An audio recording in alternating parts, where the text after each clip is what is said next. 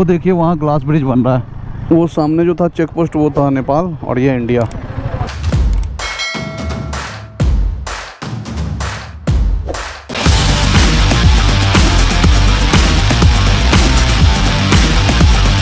Good morning guys welcome back to my another blog कल रात थोड़ा ज़्यादा लेट हो गया था, इसकी वजह से ब्लॉग वगैरह शूट नहीं किया और सारा दिन की थकान थी। तो फ़िलहाल सुबह हो चुकी है, सुबह के बज रहे साढ़े पाँच।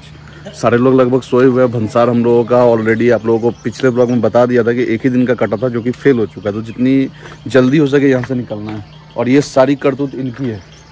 इन्होंने कहा कि 24 फोर आवर वैलिड होता है बट वो रात के 12 बजे तक ही वैलिड होता है सौ किलोमीटर अंदर आने के बाद हम लोग चेक किए ये वाली बता दिए और सुबह सुबह का व्यू देखिए हमारे।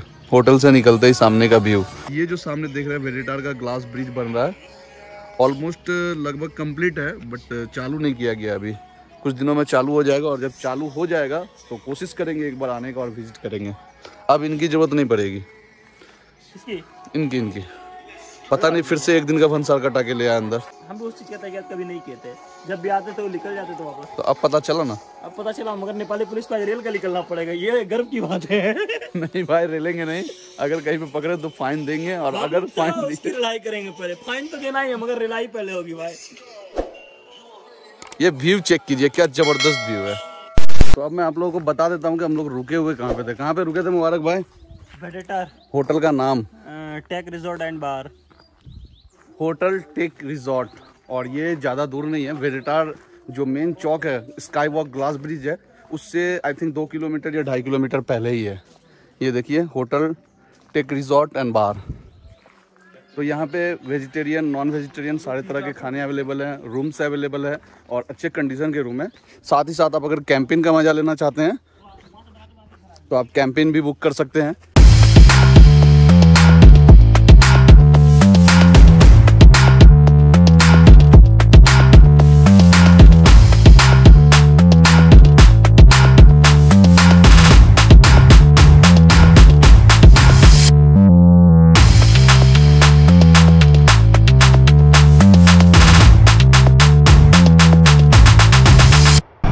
अपने होटल को चेकआउट करके निकल चुके हैं, मुबारक भाई, और उनके साथी ऑलरेडी आगे जा चुके हैं।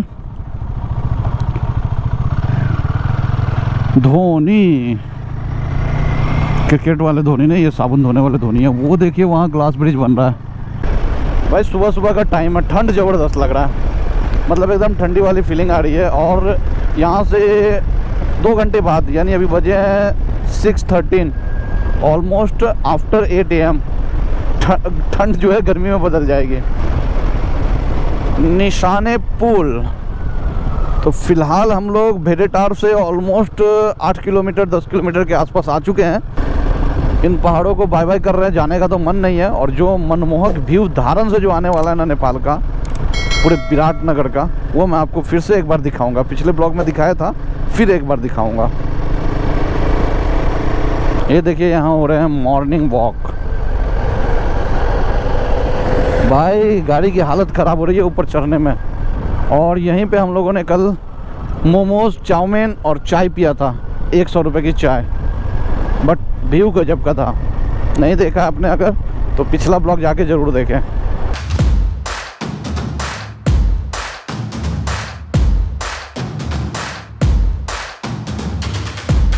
धरान जो मेन सिटी है, उसे हम क्रॉस कर रहे हैं। सबसे आगे हैं मुबारक भाई, फिर उनके साथी हैं, यमा एफ़ जेड एस से, और सबसे पीछे हम चल रहे हैं। थोड़ा सा होशियारी दिखा रहे हैं, क्योंकि भंसार हम तीनों का ही फेल है।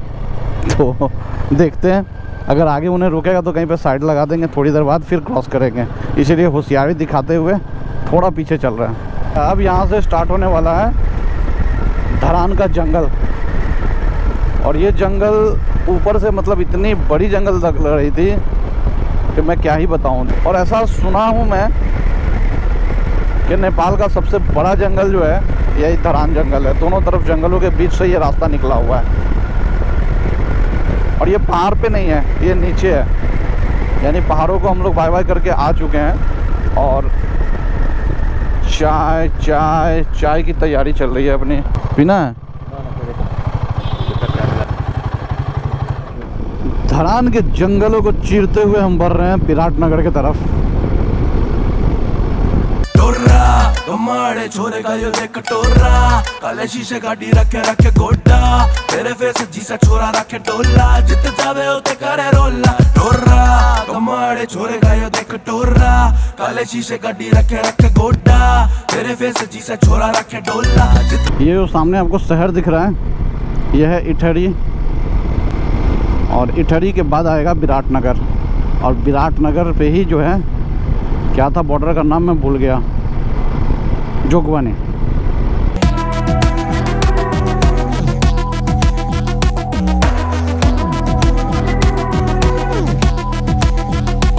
विराट नगर में आ चुके हैं और अब विराटनगर को धीरे धीरे क्रॉस करेंगे और बढ़ेंगे जोगबनी की तरफ़। अब यहाँ से जो है बॉर्डर के नज़दीक है हम लोग। दो तीन किलोमीटर के अंदर ही सारे बॉर्डर हैं। तो अब यहाँ से चेक पोस्ट बहुत ज़्यादा है। तो पता नहीं कहाँ पे भंसार चेक हो जाए और कहाँ पे हम लोग लपेटे में आ जाए। मुबारक भाई, होशियार निकले। उन्होंने हमें ही आगे कर दिया और ये रहा फाइनल बॉर्डर वो बॉर्डर क्रॉस कर गए भाई। अब इंडिया में आ गए। इंडियन पुलिस नो टेंशन वो सामने जो था चेक पोस्ट वो था नेपाल और ये इंडिया इस ब्लॉग को यहीं पे एंड करते हैं। अपनी नेपाल टू इंडिया की राइड यहीं पर समाप्त होती है। मिलते हैं अगले ब्लॉग में। तब तक के लिए बाय बाय